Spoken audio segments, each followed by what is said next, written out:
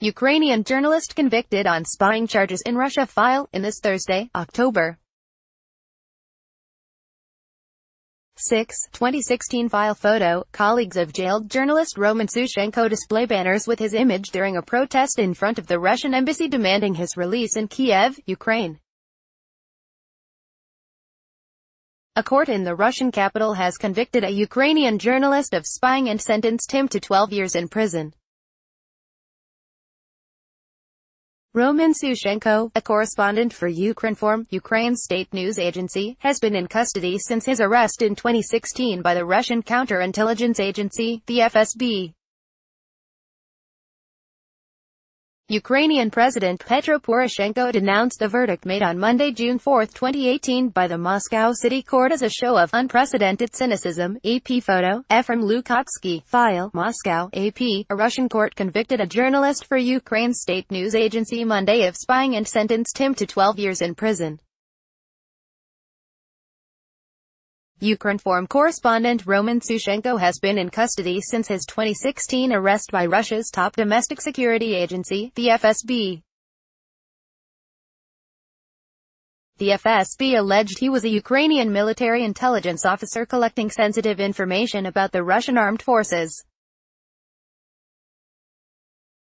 Sushchenko denied the accusation.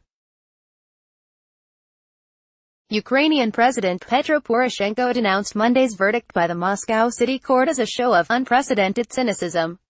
The Ukrainian Foreign Ministry demanded the journalist's immediate release. Harlem Désir, a media freedom representative at the Organization for Security and Cooperation in Europe, a top security and rights group, deplored the sentence and reiterated his call for Sushchenko to be let go. The New York-based Committee to Protect Journalists also urged Russia to immediately set Sushchenko free.